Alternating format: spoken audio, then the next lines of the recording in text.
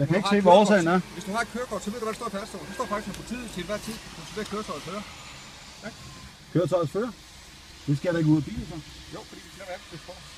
Jamen det kommer der bare med dine papirer. Og så vil jeg gerne have dit øh, belæg for det. Papir. Ja. Hvad skal jeg få papir til? Jamen jeg vil gerne have din begrundelse for det. Jamen det er, at du kører som om, du måske er spiritusbevæget. Det kan jeg så bevide, at han ikke er. Skal du ud af bilen? Ja, Jeg skal ikke ud af mit private ejendom. Hvad er det, det drejer sig om? Kom så ud. Hvad er din belæg for det? Ja, jeg skal have dig herud, så jeg kan se, om du er ædru. Nej, men du kan bare tage dit instrument og måle. Nej, det kan jeg ikke. Hvorfor kan du ikke det? Har du ikke sådan et? Kom ud. Hvad er dit navn og tjenestenummer? Kom ud. Hvad er dit navn og Ken tjenestenummer? Jensen. Du får ikke tjeneste mig, det har jeg ikke. Kom ud. Slå ned.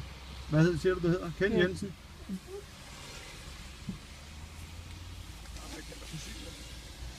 Øh, jeg har lige hentet køretøjet, Vi har lige lige købt den.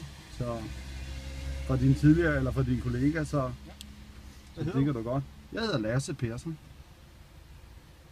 Persson. P-E-H-R-S-O-N, ligesom der står på mit kørekort Jamen, med nummer A 101 internationalt kørekort. Du kan godt se, det er et internationalt kørekort. Nu, hey, hey, hey, nu skal I lige slappe af. Du skal lige slappe af, og du skal slet ikke tage fat i mig, at stor bruge ven. vold, vel? Nu skal du...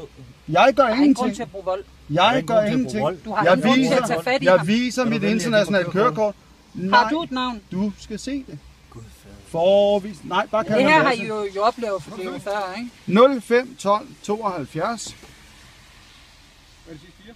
Det er statens handelsnummer, intet med mig at gøre. Jeg bor Ejderstedgade 32, stuen til højre. Hvor bor du henne? 17 Ejderstedgade 32, stuen til højre. 1761 København V, Nej, nummer hvad? 32, stuen til højre. 1761 København V.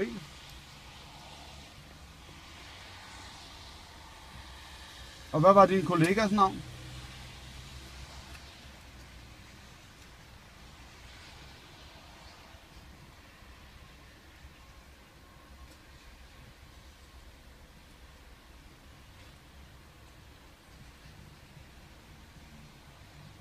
Og mit kørekortsnummer det er 23 24 16 11. 23 24 16 11. Så når han tog fat i mig. Ja, men jeg tror faktisk, jeg nåede at få det med på filmen. Det er jeg usikker på, men det tjekker vi jo bare, når jeg kommer hjem. Og nøglen er ude af tændingen. Skulle de risikere at tage dig med, så finder jeg selv efter. Her. Så er vi på.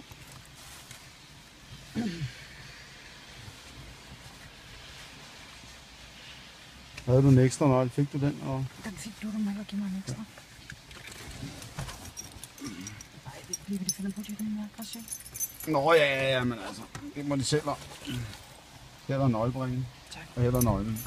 Nå, men jeg skal da have dig hentet, hvis der. Nå ja, ja, ja, men altså. Fik du bilnøglen? Ja, ja. Jeg har, Jeg har anden. jeg har en ekstra her.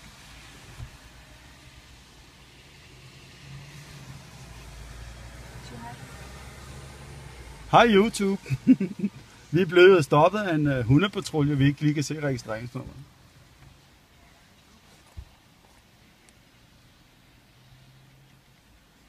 Og det er jo i dag den uh, 21. i 2. 1706 ude ved uh, Københavns Kommunes motocrossbane.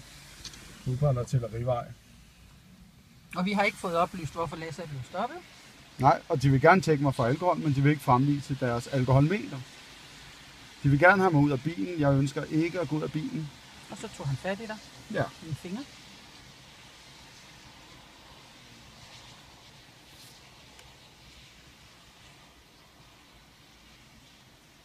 Så. Sådan er de flinke betjente i Danmark. Velkommen til de flinke betjente i Danmark. Du kan vise ham den der.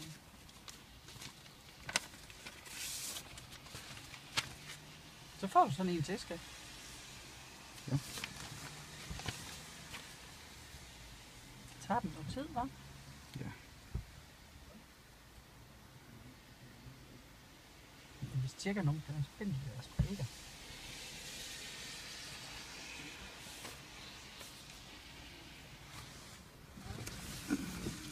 den med ude bagved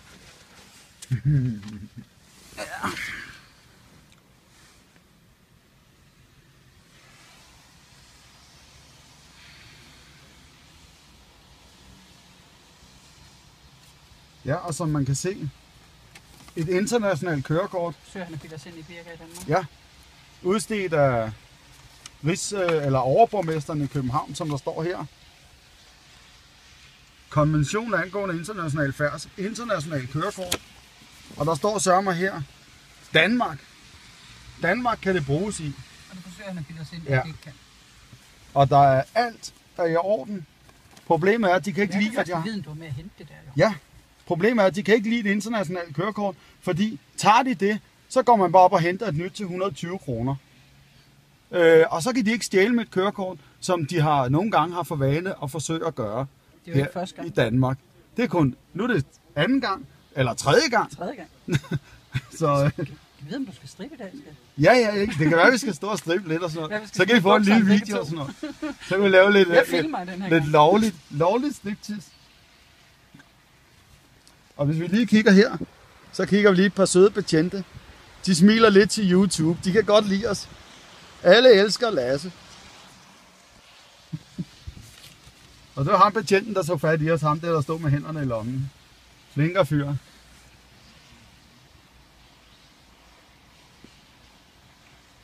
Flinker fyr, ja. Kom. Har du låst din dør? Tror du skal gøre. Er Emil.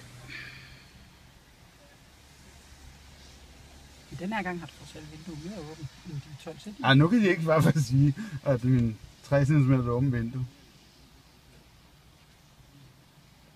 Så. Så må de jo vise der, må de høre. De vil bare have dig med, hvad. altså. Lige nok. Men det tager vi stille og roligt, hvis der er.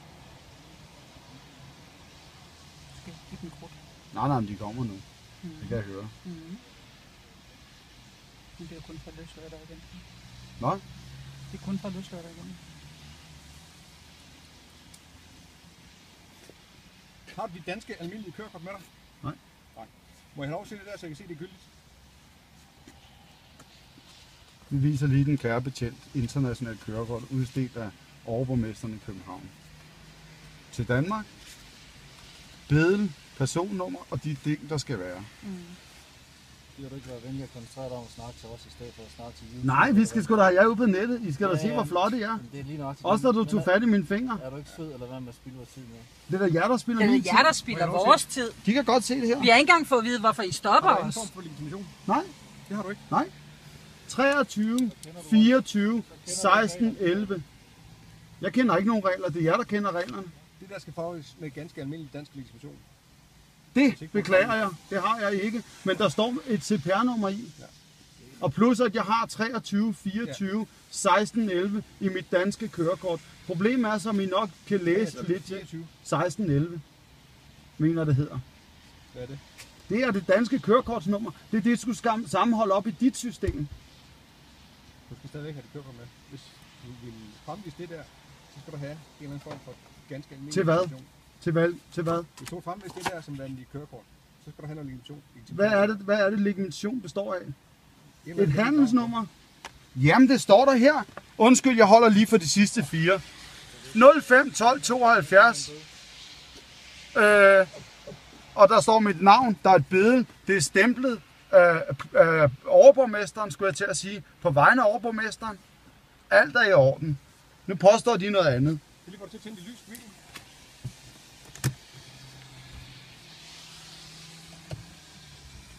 Øh, jeg sætter, tager lige sele på og sætter en tænding på til dit blinklys, ikke? Nå, for helvede da. Det har jeg ikke set, men jeg har en pære med. Jeg har lige hentet bilen. Pas nu på, når du starter. Okay. Du har ikke noget nummerplade, du skal. Vi har lige hentet bilen. Du kan bare ikke skrive nogle bøder, jeg er lidt Du, ligeglad. hører, altså, du bliver sikkert fortsat fast over. Ja, det er for hvad? Har For hvad, siger du? til politiet. Nej, er det en Har du afhøring? nogen forklaring på det?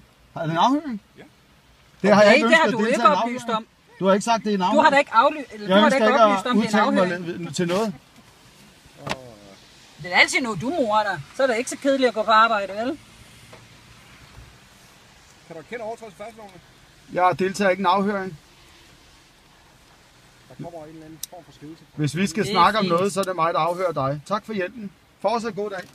Og lige den der, hey, nu husker I lige at sende det der papir med, din kollega tager fat i mine fingre. Fordi jeg vil gerne anmelde din kollega for vold. Hørte I det? Det er det danske politi, hundepatruljen. En afhøring uden at anholde dig.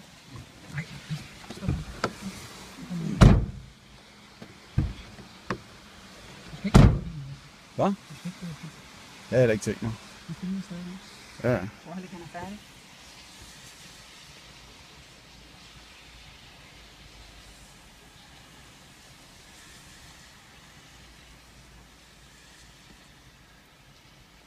Er der skal I aldrig være noget?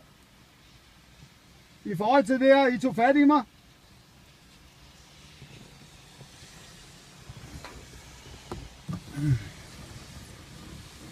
Vi bliver bare lige holdt den her. Giv mig lige min punkt, og så tager vi kørekort ud. Hold lige den her. Ja. Det kunne da bare kørekortet på mig. Ja, det ligger i midterlommen, det der røde. Nej, i den der... Ja, ja, nej, nej, kig nu bare her.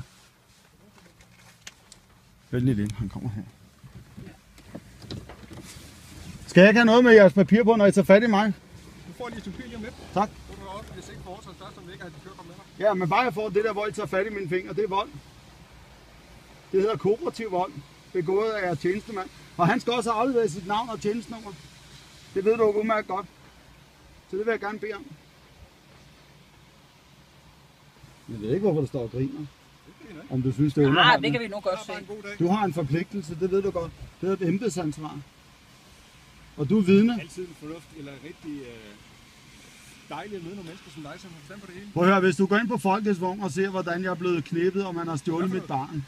Ja, af staten og statens agenter. Det er sådan nogle fascister.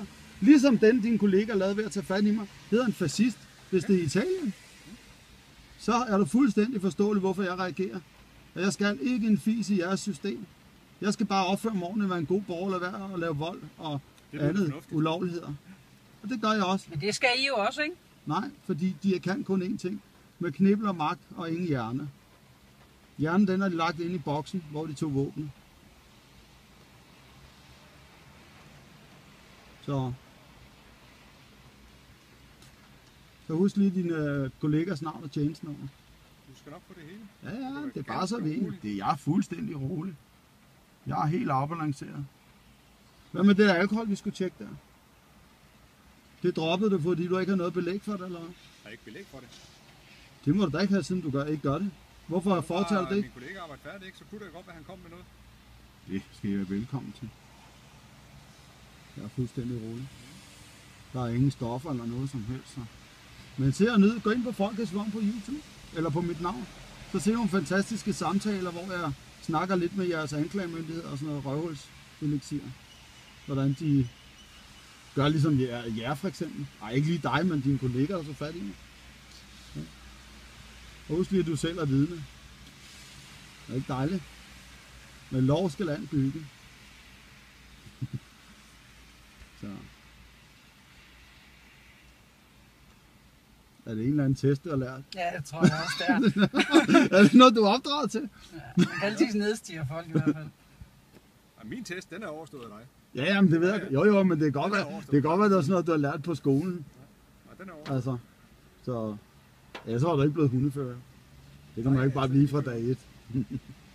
så. Ah, for syg, for syg. Ja, lige nøjagtigt. Lige nøjagtigt. Ingen skider. Men det er jeg så også her på. Hvad? Men det er så også her på. Ja, ja, men nu skal han bare levere navn og tjeneste, og ingen skid andet. Vi har bare 6 minutter igen, for ellers kan ikke på.